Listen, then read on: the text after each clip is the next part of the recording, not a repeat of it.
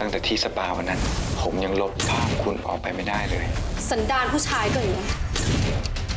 ฉันเนี่ยจะใช้ความมากมากของมัน แล้วก็ทำลายชีวิตมันเอง ความอยากไม่เลือกของคุณ มันจะทำให้ชื่อเสียงของเราพังผมไม่น่าแต่งงานกับคุณเลย ไม่มีอะไรเจ็บเท่ากับโดนคนที่ไว้ใจหักหลังคุณร่านดอกนิ้ว คืนนี้เวลา4ทุ่ม15 นาที